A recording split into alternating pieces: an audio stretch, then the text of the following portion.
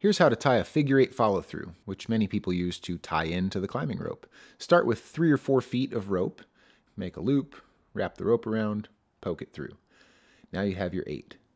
Now take the end of the rope and pass it through the two tie-in points on your harness, not the belay loop, that's for your belay device.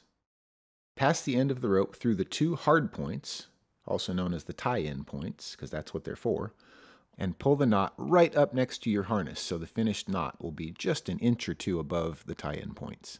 To retrace the eight, start on the outside of that first strand. Start hard to finish easy. There's a bigger hole on the right side, but we go through the left side there because the knot will end up dressed more neatly. Now follow the initial strand, follow the eight all the way through until you've retraced the whole thing and the end comes out the top of the knot.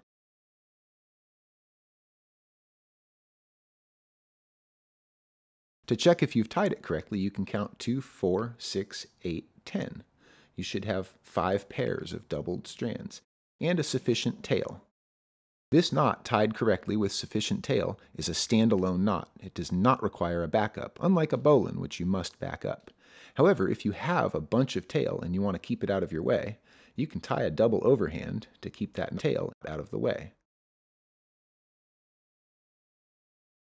To tie an overhand knot on a bight, you take the end of the bight, pass it around the back of the rope, and pull it through the loop. Dress it neatly, and you are good to go.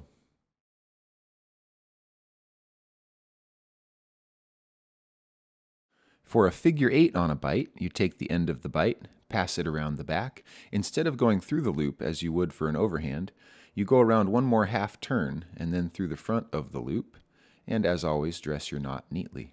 This is a little easier to untie after being weighted than the overhand is.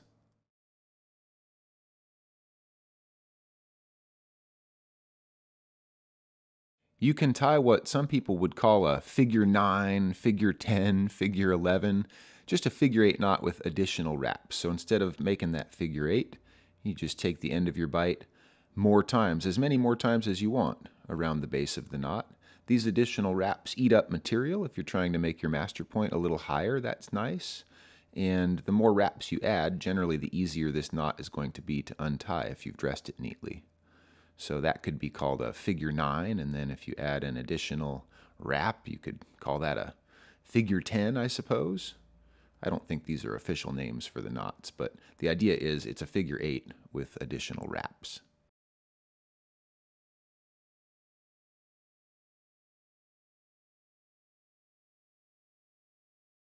Here's a more complicated knot, sometimes called the Super 8 or informally the bunny ears knot.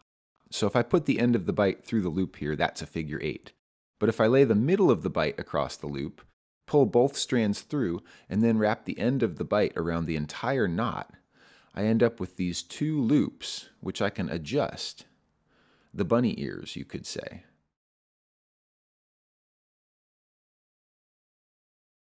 Notice that the strand that you use to adjust the bunny ears, the strand that connects the two of them, should sit at the top of the three strands at the bottom of the knot. And this is a really useful knot in anchor building. I can use this to link two pieces of protection and make little adjustments to the equalization really easily. And as always, dress your knot neatly.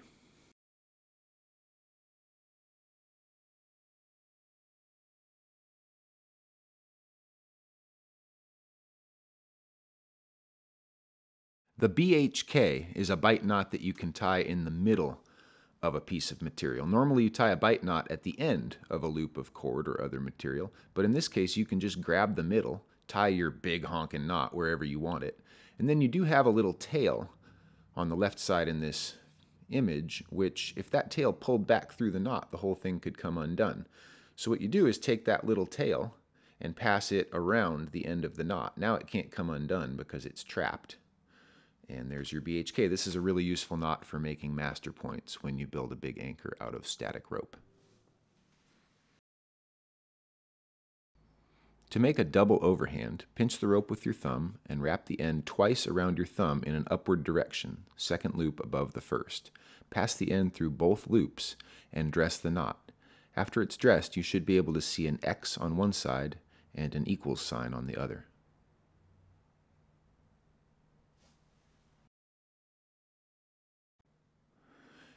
You can make a triple overhand, which is just three wraps instead of two. Make sure your wraps go in an upward direction, meaning away from the end of the rope, and then pass the end through all three wraps and dress it neatly.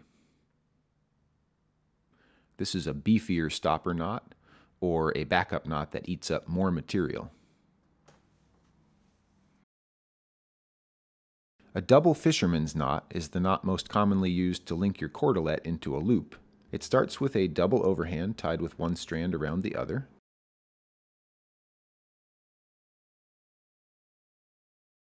Make sure you get that X and equals sign. Then you take the other strand and do the same thing. Tie a double overhand going in the opposite direction with that strand around the first. When you have your two double overhand knots, you dress them, and then you pull in opposite directions on the loop of cordelette until the knots slide against each other and lock. It's very important to leave an adequate amount of tail on each end and dress and tighten this knot carefully. To tie a water knot, which is a great way to link two pieces of flat material like webbing, first make an overhand in one piece of material. Then, starting from the end of that piece, retrace that overhand with the other and make sure you leave an adequate amount of tail on each end. Dress the knot neatly, making sure both pieces are flat against each other throughout, and tighten it down this is a knot that can get welded after being loaded, not a very easy knot to untie. A basket hitch is very simple. You take a loop, such as a shoulder sling, wrap it around something, such as this carabiner, or with a larger piece of material you could wrap around a tree, and grab both ends. There's your basket hitch. This is great for quickly extending an anchor or your belay device. To make a girth hitch, you take one end of your loop, put it around whatever you're hitching around, take the other end and pull it through the loop, and pull to tighten. This gives you a longer extension than a basket hitch, but you're only on one strand of material instead of two, and it makes a sharp bend around whatever you've tied it around, in this case the carabiner, which slightly reduces the strength of the material. To tie a clove hitch, start by making a loop right strand behind left. Then, right behind left, make a second loop in the same direction. Pass the second loop in front of the first, and clip a carabiner through both loops. This is a great way to attach your rope to an anchor point or to tether yourself to the master point of an anchor. You can really quickly adjust a clove hitch. You just pull on one side of the knot to pull some rope through, and then pull the other strand to pull that rope through the knot. It's really important to tighten both strands and then make sure you can't pull rope through the knot. Many times I'll tie a clove hitch directly onto a carabiner rather than tying it in midair, especially when I'm tethering myself to an anchor. In which case I pass the rope through the carabiner, then I take the strand that's coming out the back of the carabiner, twist it across the gate, and pass this new loop through the gate. When you dress your clove hitch, make sure you can't pull rope through the knot. Sometimes you fail to put a half twist in the system and you end up with a munter hitch instead of a clove. The difference is when you pull on one strand of a munter, it flips and slides. When you pull on a clove hitch, it locks.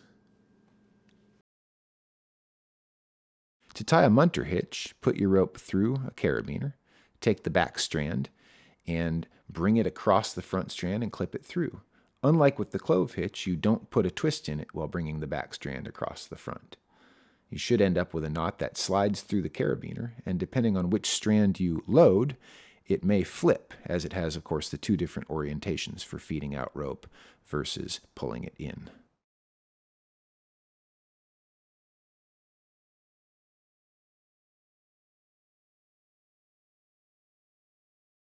An auto block is the simplest friction hitch.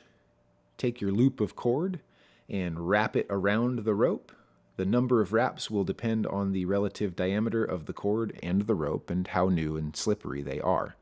When you have what you believe to be the right number of wraps, clip through both ends of the cord. And then to make sure you've tied an adequate friction hitch, you must always test your friction hitch. You should certainly test it in the expected direction of pull, and you may as well test it in the other direction too. This will help it dress a little nicer.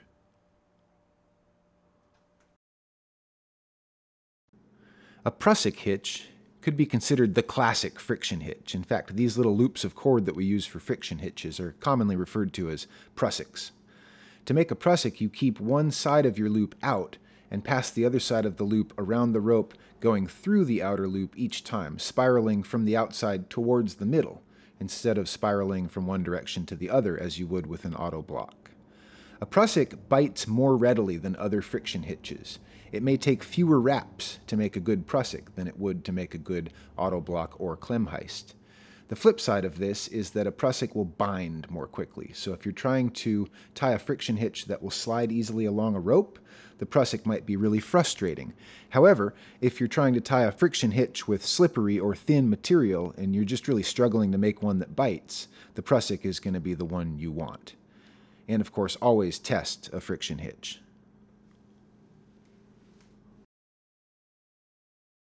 To tie a Klemheist hitch, Wrap your cord in a spiral upward. The number of wraps will depend on the relative diameter of the cord and the rope and how new and slippery they are. Pass the bottom end through the top loop and pull down.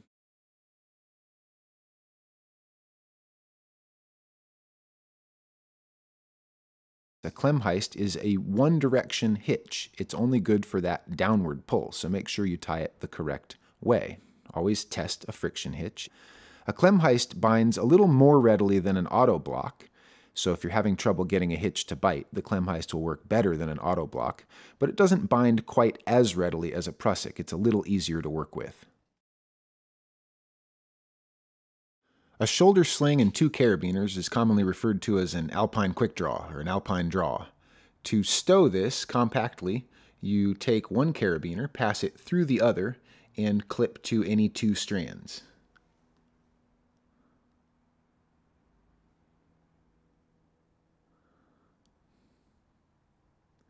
This is now approximately the length of a standard quick draw, and you can clip to a piece just like that. If you want to extend a placement, you remove one carabiner and clip it to any one strand, and you should be able to pull it into its full length. Clipping carabiners opposite and opposed means clipping the carabiners in the opposite direction and also making sure the gates are opposed. This would usually apply to building a top rope anchor where you're using two non-lockers for your master point. If the gates faced the same direction, they could press against something and both open, reducing the strength of both carabiners. So the gates need to be opposed. You also clip them in opposite directions so that if one rotates, you don't end up with that same problem. Adding a third carabiner gives you extra width there and helps the rope run smoothly, and of course makes your anchor even more redundant. Note that for other applications, such as tethering, you would normally use a single locker, but you can substitute two opposite and opposed non-lockers. However, at the master point of a top rope anchor, where you would normally use two or three non-lockers, you cannot substitute a single locking carabiner. To be properly redundant, you need at least two carabiners there.